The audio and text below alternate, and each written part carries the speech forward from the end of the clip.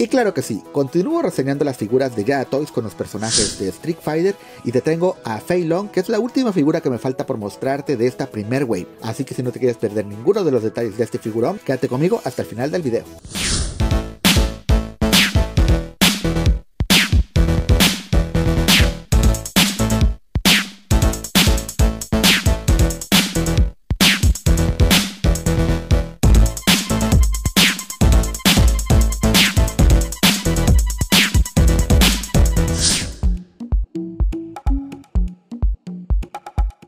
Pues como lo prometido es deuda chicos, aquí les tengo la figura de Feilong de Yada Toys, que es la última figura que me faltaba reseñar de esta primer wave. Vamos directamente a la revisión de la caja, donde encontramos el mismo diseño que vimos en las figuras anteriores de Chun-Li y Ryu, donde el blister nos permite ver la figura con los accesorios.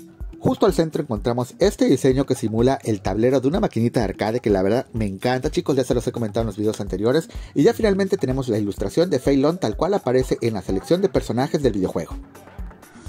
Por uno de los laterales encontramos el logotipo de Street Fighter 2 Ultra, también ilustraciones de algunos de los personajes del videojuego como Kami, Fei Long que es el protagonista de este review y Ryu que también aparece por ahí.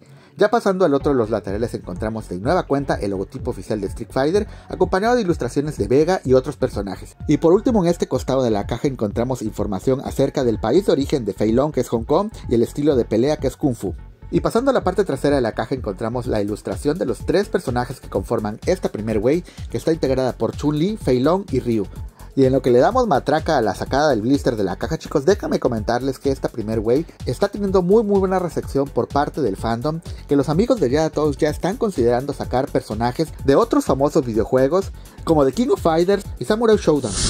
Pues aquí ya tengo el blister fuera de la cajita chicos y me decepciona un poco que en esta ocasión no nos incluyeron una base o soporte para el efecto de poder como con las figuras anteriores que sí lo traían. En esta ocasión está más raquítico este blister pero bueno está bastante bien porque el efecto se ve genial. Aquí tenemos el rostro que también está bastante padre. Vamos a retirar el blister tantito porque les quiero mostrar el background que incluyen esta línea de figuras que es como el escenario donde vemos aparecer cotidianamente a cada uno de los personajes en Street Fighter. Oigan, pues aquí tengo la figura de Feilong fuera del blister y vamos a empezar con la revisión, empezando por el outfit, el cual es bastante sencillo ya que nada más trae este jogging, color negro con estos zapatitos y sus calcetas en color claro. Me hubiese gustado, porque yo sé que el personaje se aparece la mayor parte del tiempo en el videojuego, así encuerado sin camisa, pero opino que pudo haber sido bastante interesante que en sustitución del soporte que no incluyeron para el efecto, le hubiesen incluido la camisa o casaca este tipo chinito que utiliza en la portada de su caja, que hubiese sido de plástico flexible y que pudiera ser bueno, es una opinión nada más, pero vamos a lo bueno de la figura que la verdad tiene un esculpido excelente. Puede apreciarse cada uno de los músculos de esta figura, chicos. Y esa parte me gusta bastante porque se ve súper bien definido cada uno de sus músculos. Miren, este trabajo en la espalda está súper excelente en la parte del pecho. También se puede apreciar esa definición que da el efecto de 100% carne magra, 100% fibra y que en esta figura de Feilong destaca sobre todo, más que las otras, el buen trabajo de pintura donde apreciamos sombras y luces. Se puede apreciar por ahí cada uno de estos detalles chicos y también me gusta mucho el tono de piel. Aquí tenemos el jogging el cual tiene este color negro que tiene un grabado, un tramado en la textura de la tela bastante interesante. Son líneas bastante delgadas, muy sutiles, pero que se sienten al tacto. La verdad se ve bastante bien el diseño, todo lo que es el acabado esculpido me gusta mucho porque se ve bombacho, se ve bastante bastante padre, se ve bastante realista y el atuendo de Feilong se complementa con estos zapatitos de piso muy estilo asiático con sus calcetas en color claro. La verdad la figura me gusta bastante a pesar de que es la más sencilla en cuestión de atuendo si la comparo con los otros dos personajes de esta primer wave.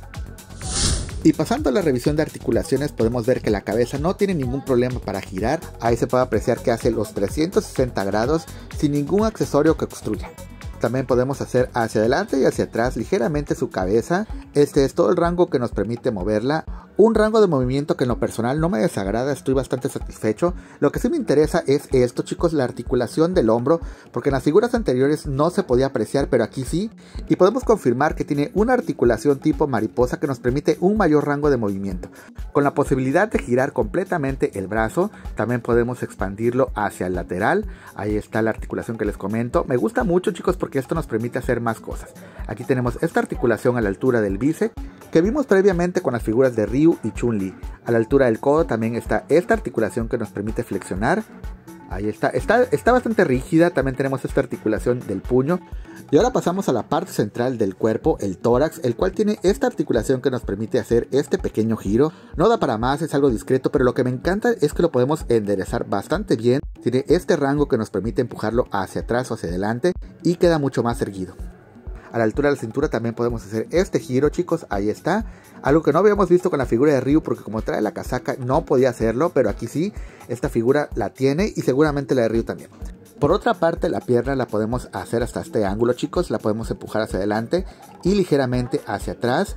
Es el ángulo que nos permite por la parte del split. Creo que es un ángulo bastante discreto, no podemos abrirlo más porque se me puede romper, pero pues bueno, hasta ahí se puede abrir la figura sin ningún inconveniente. Lo que tiene es una articulación a la altura del muslo, en la parte media de la pierna, y no podía faltar la ya clásica articulación de la rodilla que nos permite hacer ese movimiento sin ningún problema.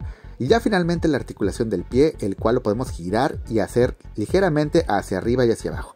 Bastante bien las articulaciones de nuestra figura de Feilong. ¿Qué les parece chicos?